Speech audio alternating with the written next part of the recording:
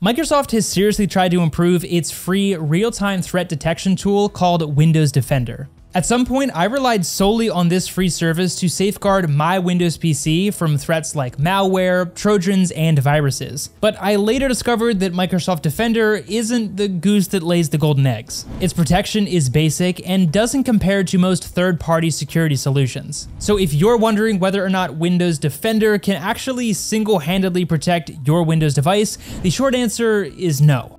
I tested Microsoft Defender and dozens of other antivirus softwares only to find that it lacks some critical features and also may have performance issues. So in today's video, we'll be reviewing Windows Defender's built-in protection capabilities and whether it's truly up to the task. We'll analyze its abilities to combat advanced malware, its efficiency in real-time threat detection, and how it fares when faced with zero-day attacks. Quickly, let's go through the scope of Windows Defender features before scrutinizing the full safety. Defender is a real-time virus and threat detection that automatically scans your system for malicious software, apps, and downloads. It then blocks and isolates potentially risky files that may harm your device. Because it's also cloud-based, Defender merges with Microsoft's extensive AI and machine learning to swiftly detect and neutralize new and emerging threats. These are also known as zero-day threats.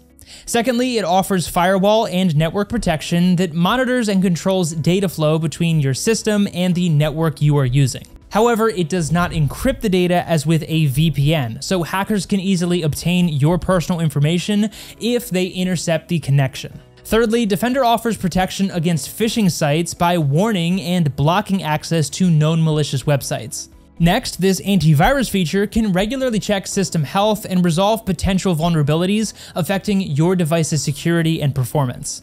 If you turn on the app in browser control settings, Defender restricts or prevents malicious apps and websites from communicating with your device, mitigating some of those online dangers. Also, you can shield your children from inappropriate content through comprehensive parental control settings. But one of the best things about Defender is that it's absolutely free to use.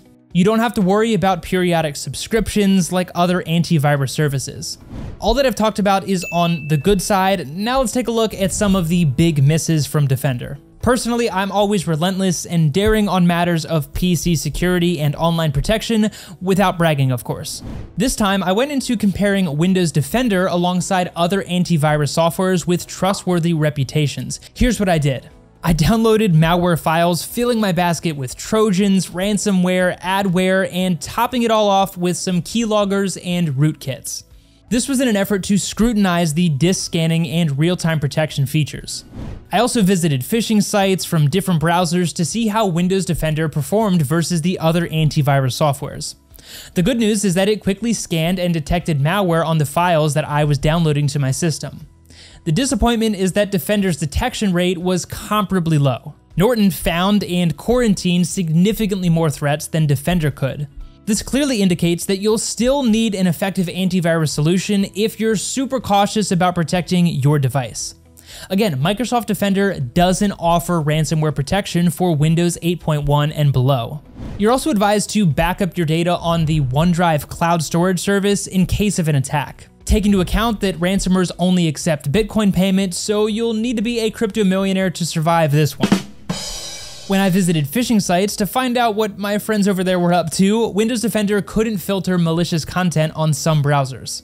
The threat detection features work well with Microsoft Edge, but it isn't reliable with other browsers like Chrome and Firefox.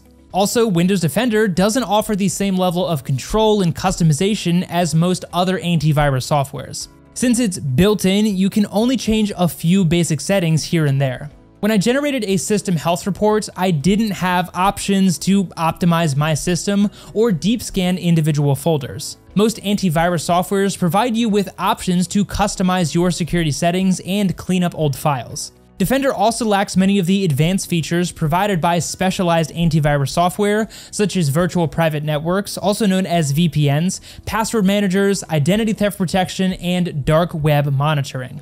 You're probably wondering what alternatives are available if Windows Defender is so bad. My independent test found Norton 360 to offer solid protection.